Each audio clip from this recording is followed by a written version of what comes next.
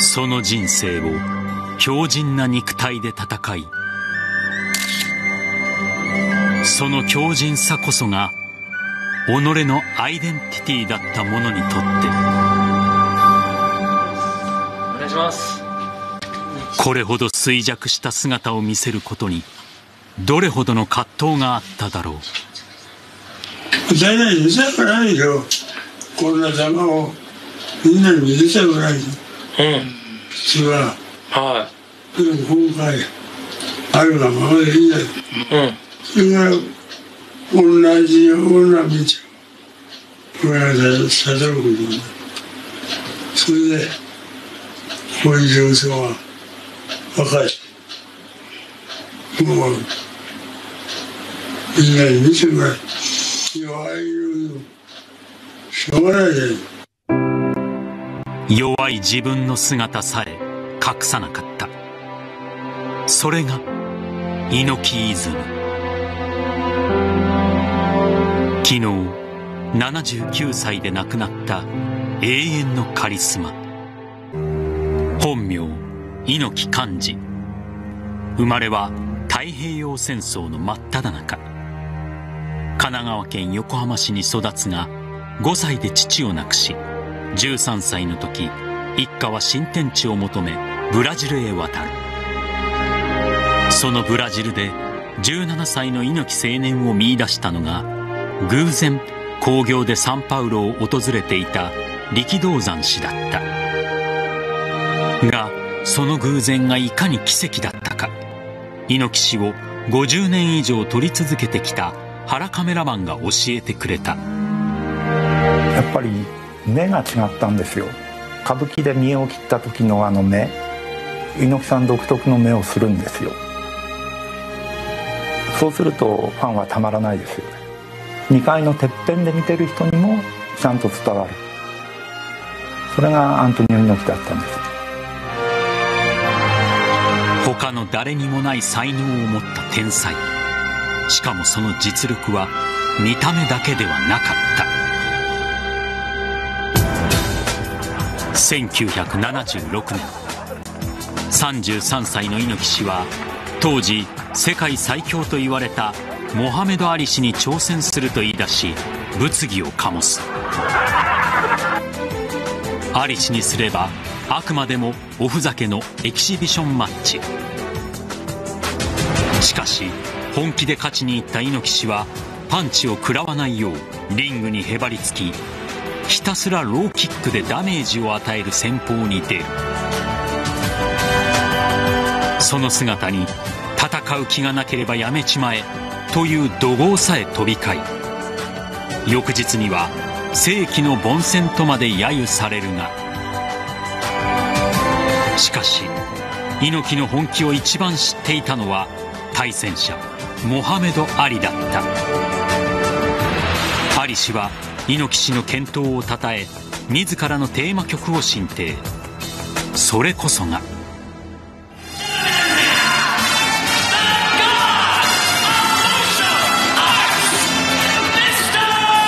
この猪木ボンバイエだった。そして時代が移り総合格闘技全盛の時代が来るとあの日世紀の凡戦と呼ばれた戦いは全ての総合格闘技の元祖だったと評価が変わってゆくそういつも猪木氏は早すぎたのだ。それは第二の人生でも。天の声と言いましょうか。今回の参議院選に出馬せよというような声がかかりました。1989年参院選へ出馬これまた常人には全く理解できない選択だったが。となくあのありのままやらずにしていろんなことを悩むんじゃなくて猪木さんがよく言われるあの行けば分かるさっていう、まあ、それがだから本当に実実証したような人ですよね。しかし当選から4ヶ月。突如暴漢に襲われるとその傷も癒えぬまま我々はこれからある意味では命を懸けてやらなきゃいけない仕事だと思いますしね、まあ、そういうことを恐れてたら自分の主張もできないし。そんな本気を何より感じさせたのが1990年イラクがクウェートに侵攻。その蛮行に多国籍軍が空爆も辞さぬ構えで立ちふさがった時だった。イラクは海外からビジネスで入国していた一般人を人間の盾として軍事拠点に配置。その中には日本からの商社マンも多数含まれていた。しかし時の日本政府は何一つ解決策を打ち出せず手をこまねくばかり。その時立ち上がったのがアントニオ猪木議員だった。なぜだったのか。その訳を猪木氏本人が2年前に語った音声記録がある。だって誰も行く人いないんだもんね。国会議員だったら何やんだよって。なそこで手を挙げるだけの話じゃないじゃん、俺の理念ですよ、国会議員とはそういうもんだろうと思ってたんで、えーこんなあの大役を俺しかいないなら俺が行くしかないじゃんっていうのこの声を引き出したのは格闘技ライターの重田氏。猪木氏はすでに体調も悪くちょっと途中で打ち切らなきゃいけないかなっていうような最初は状態だったんですね。もうあ体が悪いんだろうなっていう状況からどんどんどんどんそのなんか戦う人の顔になっていき口調にも熱が帯びて。そんな中語り出したのが世間のやり方とは全く違う猪木流アプローチだった。みんなが人質解放とかすぐそっちのテーマから入るんで、そうじゃなくて友好という部分をテーマとして、そういう意味では体験に勝るものなしという結局あの一面しか見れない物事がそうじゃなくてその側面を見た時にどうしたらみんなが平和であるか解決できるかっていうことが一番大きなテーマなんで人質解放だけを声高に主張するのではなくどうすればイラクと日本の関係が平和に保たれるか。この無謀な旅にも同行した原カメラマンは猪木さんは普通に話すんですよね。あの変に持ち上げたりもしないしかしこまって話しても本心じゃないって思われちゃうでしょうから。その結果緊張真っ只中のイラクでなんとスポーツと平和の祭典が開かれ人間の盾となっていた日本人商社マンたちも全員解放されることになる。そしてその後もプロレスが平和の一助になるならとキューバ中国北朝鮮とまるで隣町へ出かけるように世界のどこへでも出かけていった。猪木さんは地球上全部一緒でしょうね。もし宇宙に行けたら宇宙も行っちゃってたかもしれない。垣根とかボーダーとかねないですよね猪木さんは。だがそんな猪木氏とて不老不死ではなかった。2019年全身性アミロイドーシスという難病を発症。以来その闘病生活をドキュメンタリー番組にまとめてきた鈴木氏は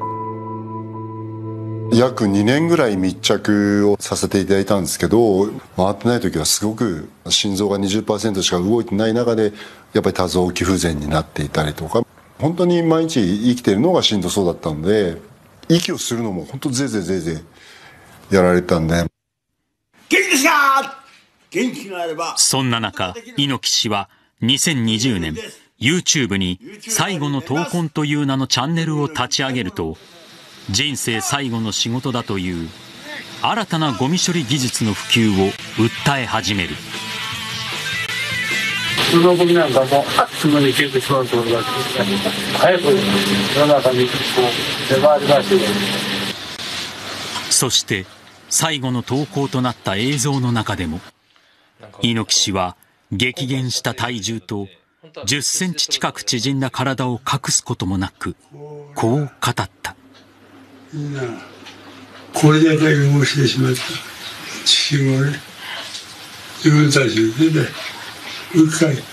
きれいに掃除すべきそれは今これが世界に向けて言うしかできないことうわーいやねこれが出せる。いやもうすぐそこに来てます。死の足音がそこまで迫っていると知りながら貫き通した猪木イズム。そんな体調の中今年5月猪木氏が向かった場所がある。座っているだけでも大変なはずなのに10時間という車移動で訪れた場所。それこそが自らが建てた墓標だった。そこには生前猪木氏が好んで口にした詩「道」が。闘魂っていうのはああいうことかなと僕は思ってましたけどね。自分でこの人生開いていって這い上げていくと。人生は決して選べるものではないが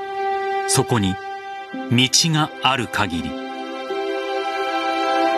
出会いの中で選ばれてプロレスのスーパースターになってまたそれが政治家になって自分が衰えてそれでも自分の人生と戦う姿を見せて全部さらけ出すっていうすがすがしいというかですねかっこつけないかっこよさというか。そしてカメラマンの原さんにはこれを最後の一枚と決めた写真がある。突然呼ばれて「俺の死に雇ってくれ」って言われただけですから。難しいテーマ出されたなと思ったんです俺の死に際を撮ってくれ。そう言われ実際にシャッターを押した最後の写真は。試合前の練習を撮ってるような感覚だったんです。なんで寝てんの撮んのっていう感覚じゃなくてリハビリしててもこっち向いて顔だけいい表情してたから撮ったり。結局最後まであれは特別でこれは普通という境界線などなかった猪木氏。